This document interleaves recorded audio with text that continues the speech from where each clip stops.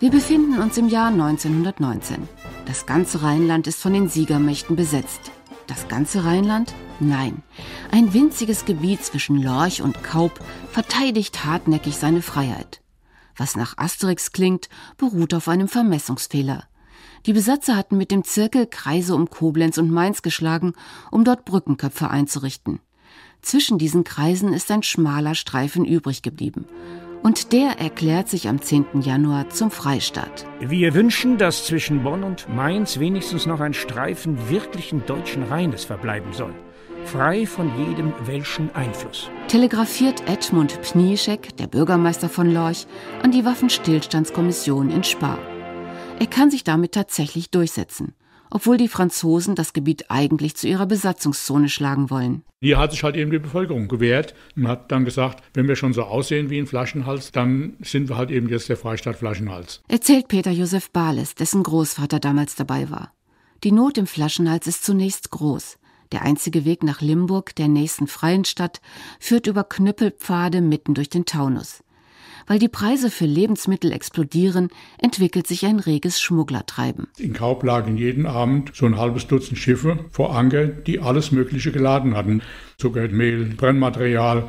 Und das konnte man ja schön tauschen. Da die meisten Familien im Freistaat einen Weinberg und eine Brennerei besitzen, funktioniert der Tauschhandel wunderbar.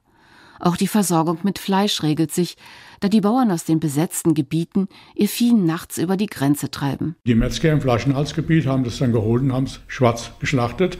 Und somit war sogar ein regelrechter Fleischüberschuss im Freistaat. Bald hat sich der Schmuggel dermaßen perfektioniert, dass ganze Wagenladungen über Limburg ins unbesetzte Deutschland verschoben werden.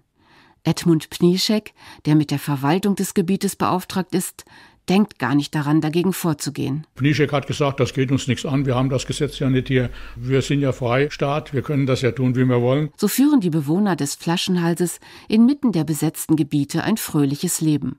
Auf einem ihrer Notgeldscheine prahlen sie Nirgends ist es schöner als in dem Freistaat Flaschenhals. Die Franzosen finden all das natürlich gar nicht witzig. Um Jagd auf Schmuggler zu machen, stellen sie Suchscheinwerfer auf der linken Rheinseite auf, die in der Dunkelheit das Ufer ableuchten. In einer Nacht sehen sie junge Burschen, die ihnen den Rücken zukehren. Und als das Licht anging, haben sie die Hosen runtergelassen. Und das mehrfach, um den Franzosen zu zeigen, was sie von dieser Aktion hielten. Die Besatzer schlagen zurück. Im Mai 1920 legt ein Schiff mit französischen Soldaten in Kaub an.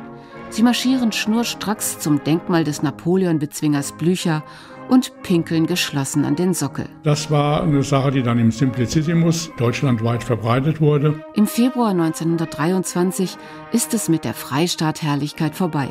Der Flaschenhals wird von französischen Truppen besetzt. Als sie im November 24 wieder abziehen, löst sich der Freistaat endgültig in der Weimarer Republik auf. Zum großen Bedauern vieler Bewohner.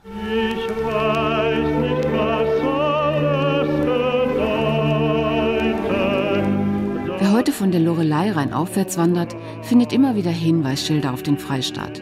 1994 haben Winzer und Gastwirte eine Initiative gegründet, um an die glorreiche Vergangenheit zu erinnern.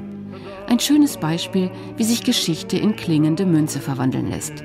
Flaschenhalspräsident Peter Josef Bahles. Wir möchten unser Gebiet bekannt machen, möchten Leute animieren, auch hier Urlaub zu machen. Und mittlerweile sind natürlich auch Franzosen im Freistaat Flaschenhals willkommen.